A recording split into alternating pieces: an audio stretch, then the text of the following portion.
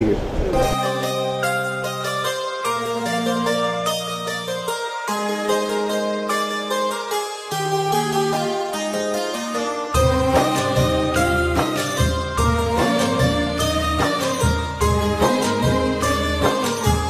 नाजिन इस वक्त हम एक बहुत ही खूबसूरत सी इतर की दुकान के ऊपर यहाँ पर बहुत सारे इतर है जो माशाल्लाह बहुत ही खुशबू, जब भी आप यहाँ से गुजरते हैं तो एक किस्म खुशबू आती है। ये बहुत अच्छी बात तो खासतौर से रमज़ान में जो लोग बहुत अहतमाम करते हैं इतर का नहीं बल्कि रमज़ान नॉर्मल दिनों में जो शौक़ होता है इतरों का जुम्मे के वक्त जो है नमाज़ के वक्त इतर लगाते हैं आइए इनसे कुछ बात करते हैं। असल वालेकुम। सलाम। आपका नाम जनाब? मोहम्मद अशरफ सईद। ये बताए इतर बहुत सारे माशा आपके पास है। ज़्यादातर लोगों कौन सा पसंद कर रहे हैं? अभी ये लोग अतर का मसला ऐसा होता है कि हर किसी की चॉइस अलग अलग होती है।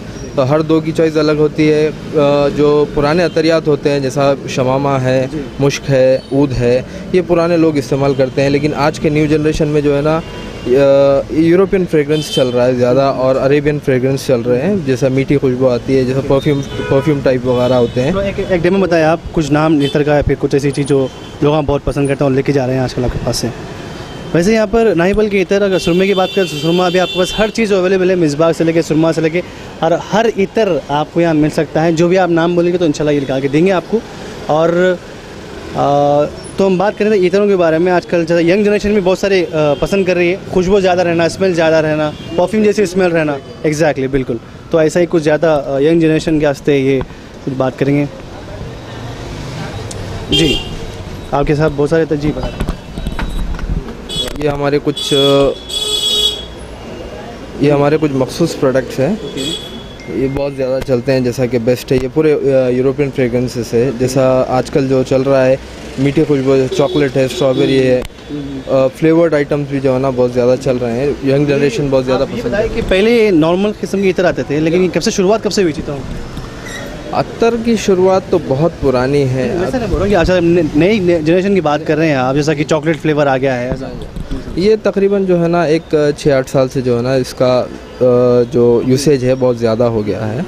क्योंकि हर कोई जो है ना राधर दिन परफ्यूम जो है ना ये लोग ये लोग तो अतर अतर पे जो है ना ज़्यादा जब हम लगाते हैं तो वैसे ही स्मेल भी वैसी आती है परफ्यूम जैसे जी हाँ जी हाँ। जी हाँ पर ये परफ्यूम बेस ही होते हैं। बस परफ्यूम में ऐसा होता है कि जो ना उसमें अल्कोहल वगैरह मिक्स होते हैं। ये अल्कोहल वगैरह नहीं होता है। इसे कॉन्सेंट्रेट होता है सीधा सीधा। तो ये बताए कस्टमर्स माशाल्लाह बहुत दूर दूर से आते हैं बहुत बहुत आते हैं। ये हमारा ये एक पुराना मेन दुकान है ये और एक हमारा बदारघाट पे भी जो है ना एक इसका ब्रांच है। तो वो तकरीबन दो साल हुआ है उसको खुलकर जो अल्हम्दुलिल्लाह काफ़ी अच्छा चल रहा है। ये तो बहुत पुराना है करीब हम जो है ना यहाँ पे 20 साल से काम कर रहे हैं।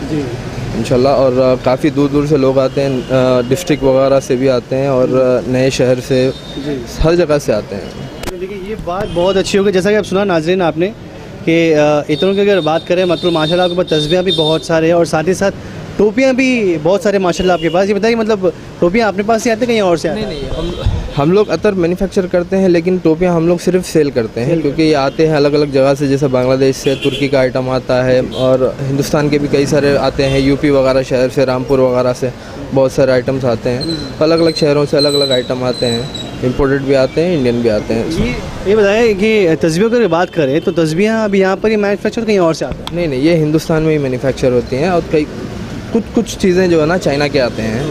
बकाया तो जो है ना हिंदुस्तान में यूपी वगैरह जो है ना ये देहातों में जो है ना घरों में बनती हैं चीज़ें।